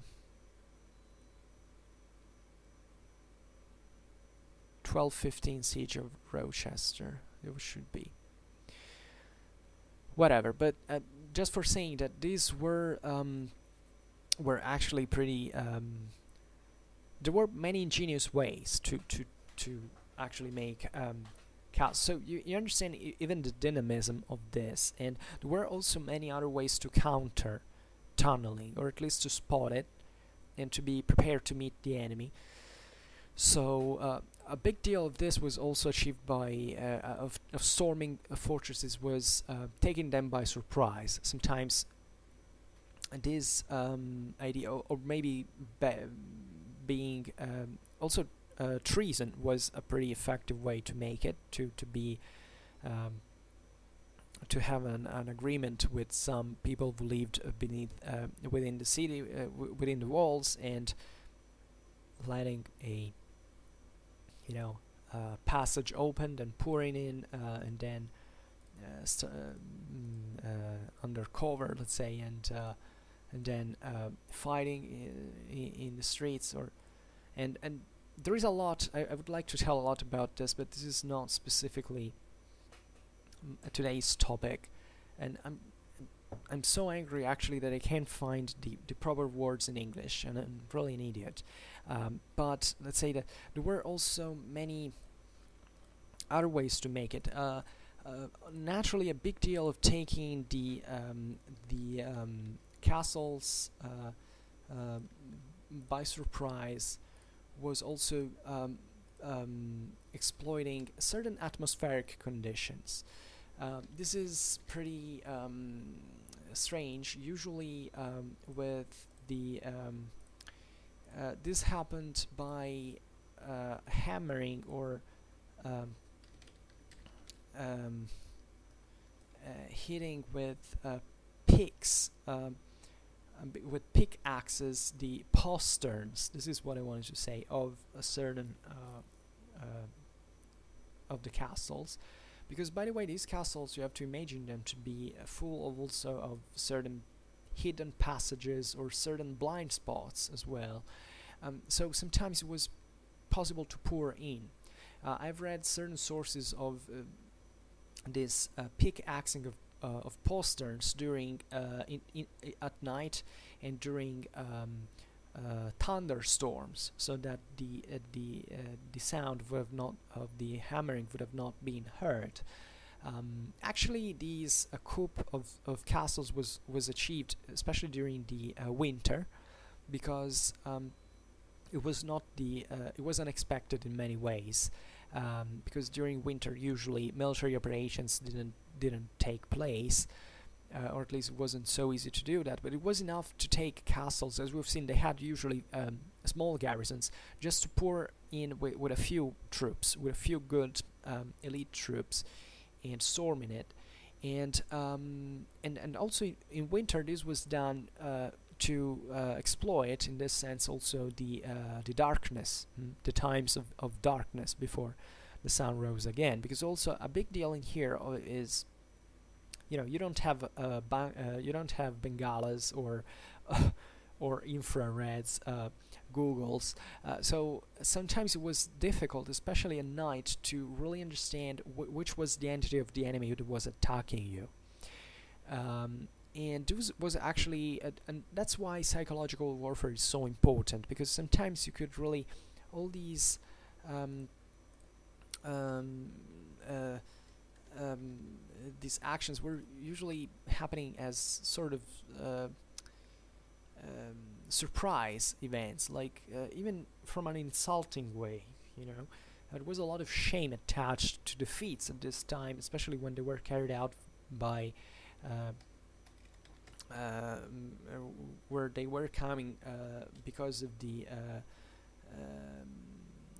the unconcerned nature of those who had been tricked practically. So those who had uh, lowered lowered uh, the guard, uh, and that um, and this is how really war is fought, by the way, because war is not really just about open pitch, uh, I mean open field battles and all. Um, it's really mostly about this, about taking castles, taking outposts, especially in this medieval um, warfare. That was really about that. Even a single castle could owning uh, and taking by and seizing a castle could really make the strategic equilibrium shift consist considerably. It took months, if not years, actually, to have the good opportunity once again to, to retake that castle, and it required a lot of effort. So um, that's why a lot of um, inventive and application was put in taking these castles, and the trebuchets were the radical way to make it. Like, but not always trebuchets could could do that. For instance, um, uh, the the the castle of Chateau Gaillard, famously, there was this. Uh, uh, actually, it means already by the name, the strong castle. Hmm? Uh, that um, is present in no uh, that was built in Normandy by um, uh,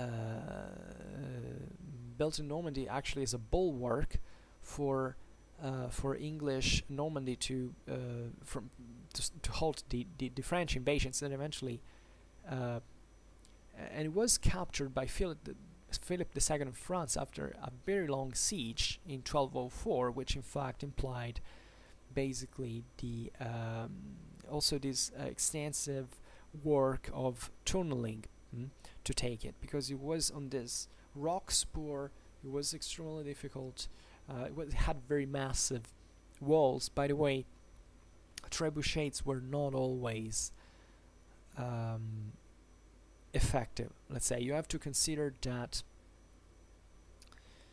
especially um, these military operations had a great cost. Mm.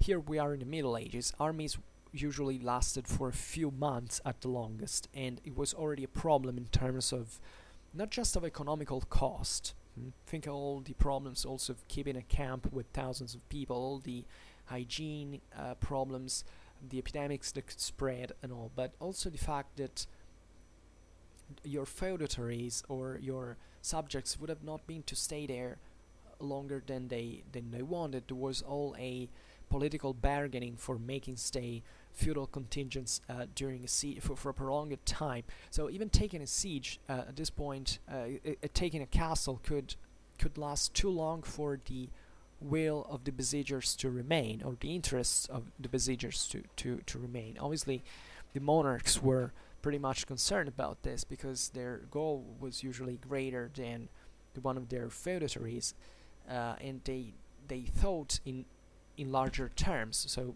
taking these castles, as we have seen, sometimes equated like to take a whole region because of how um, effective they were in their strategic function. Um, so if you don't have, you know, if the terrain is bad, so you don't have the right angle, or you don't have many trebuchet, or or the or the castle's walls are very massive, so that you can't hit at them with a trebuchet, but maybe the distance is too great mm? um, or the height is too great. Uh, so you can't always make an effective damage, especially on Chateau Gaillard and this rock spur was um, pretty uh, pretty high, massive walls. So even the trebuchet could hit probably, but not having this uh, terrible effect. We've seen that the rate of fire was usually uh, slow there weren't so many trebuchet at one time. Uh, so these hits uh, could not be effective, at least um, it, it, would have taken too long for me for the army to remain to take down the enemy walls with trebuchet. Mm. So creating castles over very uh, impervious um, terrain was actually a pretty good way to make that castle impregnable. Chateau Gaillard was one of them, and the French finally took it uh, after a lot of of uh, you know of of struggle, and uh, the um, the idea is. Um, the so this by the way controlled the Seine river so it, it was a very important uh, center. So uh, I don't remember wh where I was going with this, but um, the point is uh, that oh yeah, that there are certain castles that can't be taken even with trebuchet. Mm, It's just the location that makes them impregnable sometimes. Even though uh, a too impregnable position sometimes is also, you know, you can pass by that. You know, uh, from there you can be well defended, but you might not have a reach or over the surrounding communications. So until it's not a mountain pass or a river pass, you know, it's uh, it's mostly a problem because if you have to left it, um, if you have to leave it behind, mm, sometimes. But whatever, this uh, has to do just for saying that sometimes it's more the political situation that goes past the strategical problems than the other. mm. Depends who owns that castle, what interests that uh, he has. mm. So this is also how uh, the whole thing uh, worked. So anyhow, if you finally managed to breach into the enemy walls, you have to take out a uh, an assault. So also here it would be a lot to tell. Uh, usually assaults, um, sometimes um, it was enough to make very narrow breaches into the walls to make um, men and horses pass mm, inside. Uh, it's like with the posterns before we're talking about. It was enough just to enter the castle, mm, and uh, and then making people pouring in. So, um, for instance, during uh, sometimes even um, aside from breaches, uh, assaults could be obviously led with uh, ladders. mm. For instance, in the first siege of Constantinople, Villehardouin tells us that the, the first, um, let's say, the attempt made by the, the first attempt by certain Frankish uh, knights to, um, in, a- in a certain, at a in a certain point of the Theodosian walls, mm. And he says they, uh, these, uh, the Crusaders, in the 1204 siege of Constantinople, they rose um, um, uh, close to a barbican. So a barbican would be uh, essentially a um, a fortified outpost of gateway. Uh, it's normally made for the defense of a city or a castle, uh, or uh, or a tower located over a gate or a bridge that has this uh, chiefly defensive purpose. At least it was born as a as a um, for a military function. Then eventually it also evolved into a sort of aesthetical thing. Especially during Renaissance, there were still these uh, exterior elements being replicated, but they didn't have the um, the same function uh, anymore. Especially with development of artillery, etc. So. Um, what what Villehardouin says, uh, they the Crusaders rose two ladders next to a barbican, uh, next to the sea.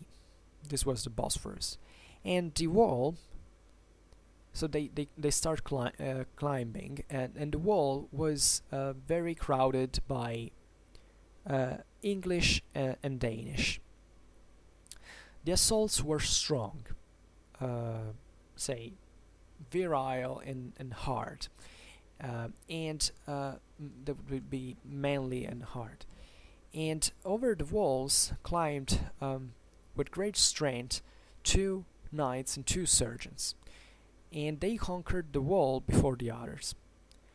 On the wall climbed well 15 men, and they fought um, uh, into the melee with axes and swords and those inside who um, um, were um, you know re uh, say reconforted because they threw them out with great shame and uh, and by losing only two.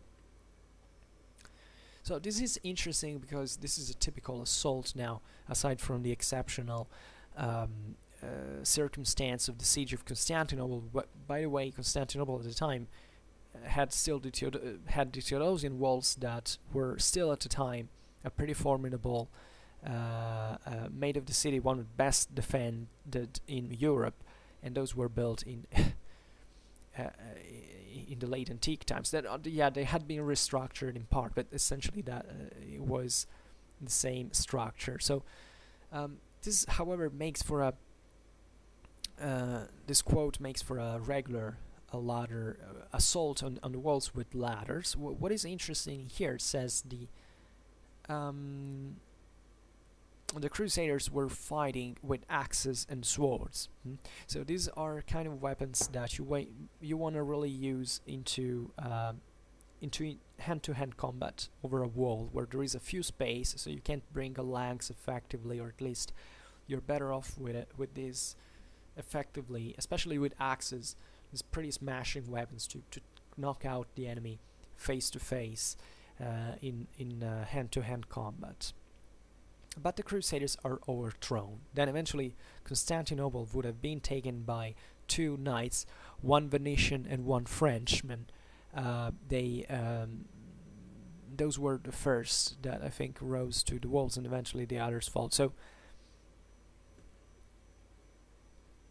it was relatively and and this first assault crusade, uh, Crusader assault was uh, repelled, uh, also with a few losses from the uh, the defenders side. Um, so this is interesting because it really shows uh, how desperate sometimes it was to climb um, to to over these walls and uh, how ruinous it could uh, could really be.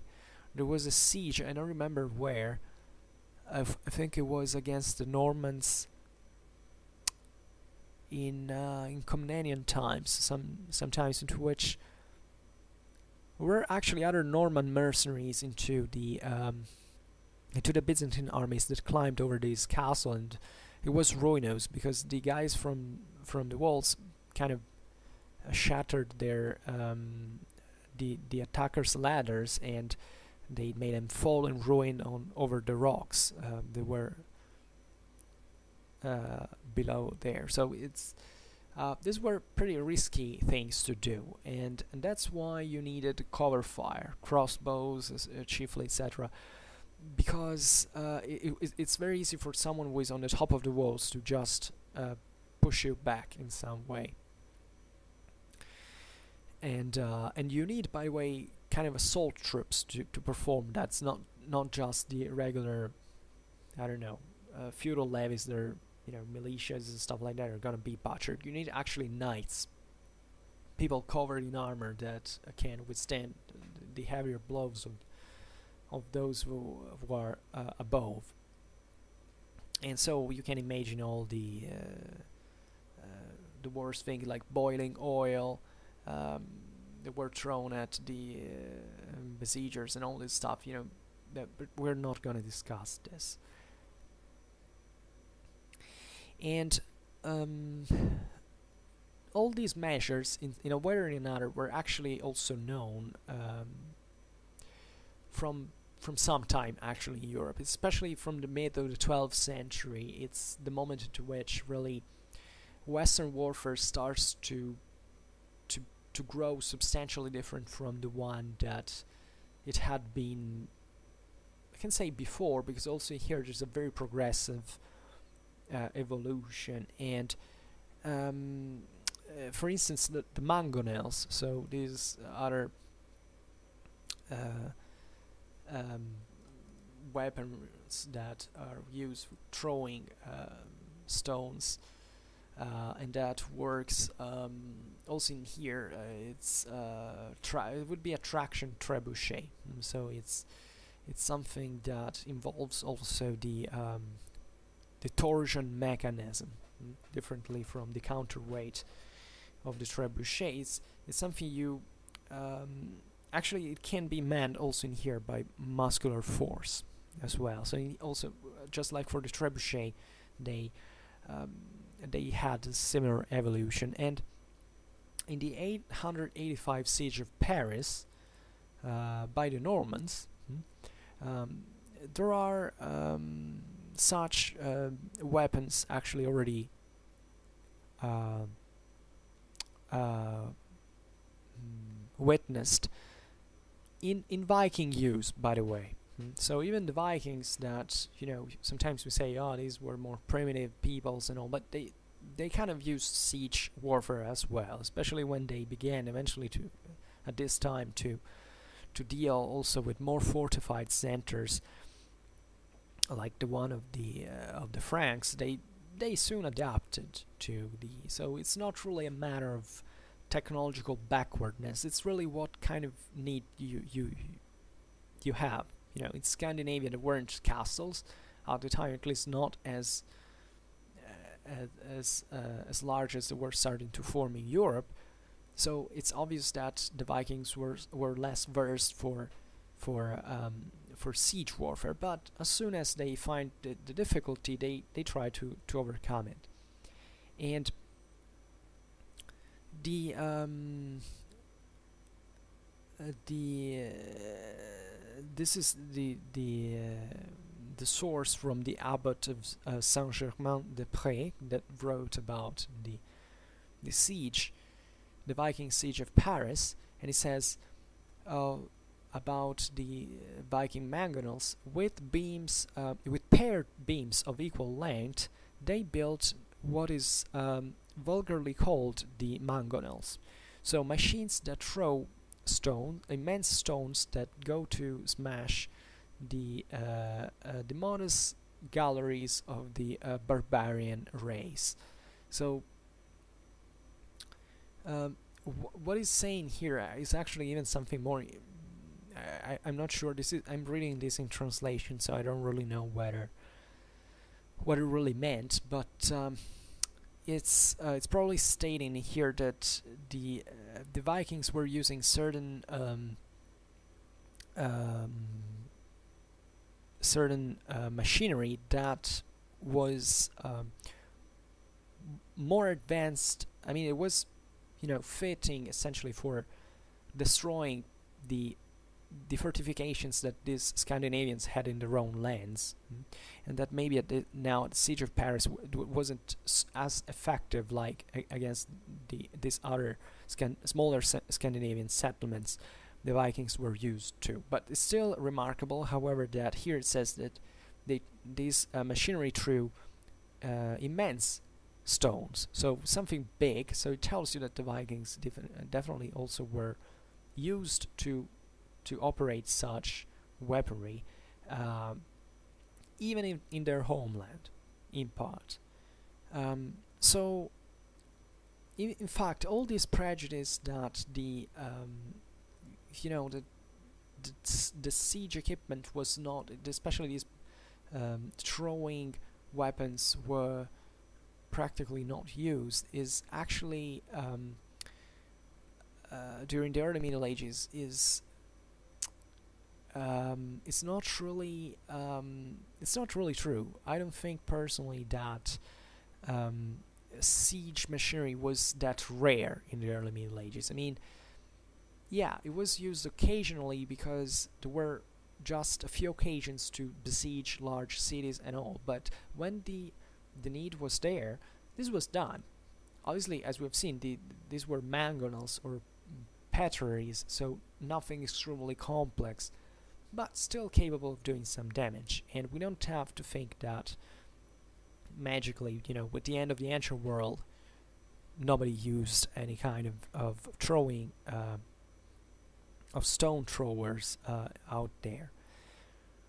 So, but it's definitely between the 12th and 13th century, as we have seen, that these, especially technical perfectionments rather than, um, uh, you know, sudden inventions actually allowed a, a more rapid and more precise uh, fire uh, and definitely also the use of heavier projectiles. And the same goes along with uh, other the rest of military engineering, so tunneling, field fortifications, other fortresses of sorts, castles, castle engineering and stuff like that. So um, I think this is enough for today. And um, what else can I say about this? Yeah, I think the last point was was important. I mean, it's not that by the 12th century trebuchet arrives in Europe and nobody had ever seen anything um, comparable. stone throwers were already there, used. Yeah, they were smaller, they were more rare. These trebuchet were something amazing. Hmm? Yeah, nobody had really seen those before in those generations, naturally. Um, also because these weaponries, by the way, in Europe have never been used. Uh, but let's say that with the contacts with the Byzantines and the and the Arabs and all, the Westerners had always had a grasp that such uh, machinery existed. So we don't have to be surprised about it. We don't have to be to think as if these were a bunch of uncivilized barbarians that uh, all of a sudden get civilized with the books of someone else. No, this is not really it. It was a very steady progress, and um, and especially was a progress uh, whose logics you have really to understand in itself. You know, uh, it, once again, in order to besiege a motte, you don't need sophisticated torsion engines. You don't need catapults. You just either take them for uh, for anger or you uh, maybe assault them. So um, it's a matter of convenience. Mm? And, and that's how really it's always about the relation cost benefits nothing more nothing less most of the times there there might be certain cultural factors that mm, have to do but uh, with a, a, lesser greater employment of such weapons but those are virtually uh, ininfluent. Mm, as uh, it's really what concerns the structure that makes the difference. Mm. and even the evolution of uh, siege machinery um, and uh, in this sense evolves pretty um, pretty smoothly, mm, even with firearms. Firearms didn't revolution warfare at all. This is also another prejudice, you know, this idea that technology is is, is something that arrives in a full package that you apply somewhere and that somewhere magically develops. No, it's not like that. Technology is always there, it's always developed continuously by the same people, and it progresses with the needs of the people. Hmm? So that's it. And um, so um, for now, I just hope that you enjoyed this video. Uh, if you did, please share it. Otherwise, leave a like or subscribe to my channel if you are interested in my upcoming uh, videos. And for now, I thank you uh, heartily for listening to me. I wish you a nice time and see you next time. Bye.